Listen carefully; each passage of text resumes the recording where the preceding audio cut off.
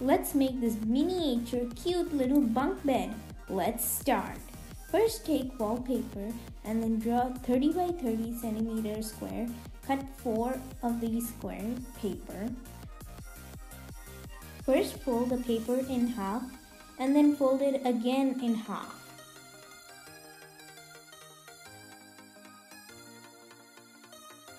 And fold it again in half.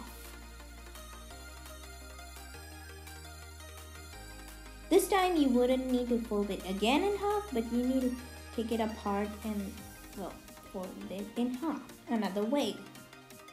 Fold two triangles in the side.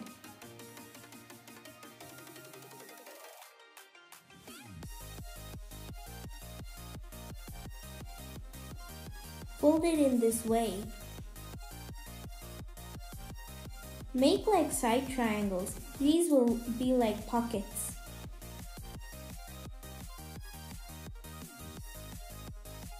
Fold the top paper into the pockets.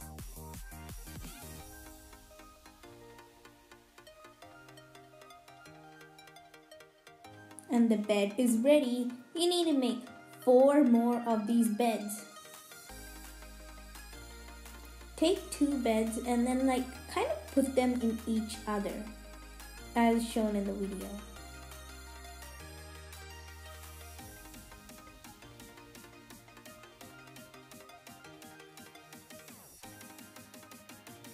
Make two beds like this.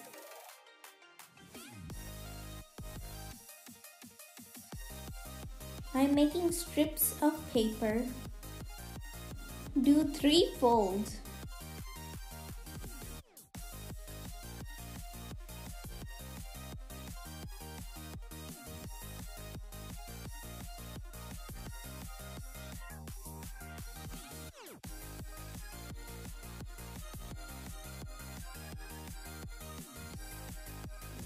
With that piece of strip of paper, I'm gonna make the side of the bunk bed as shown, but do not glue it together yet.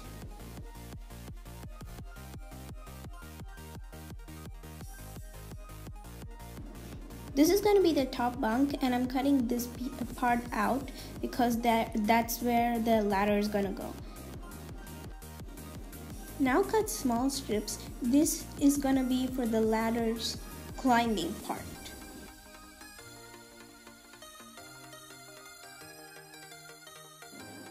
Make the ladder like this. In the same method, we're to make the side of the bunk bed.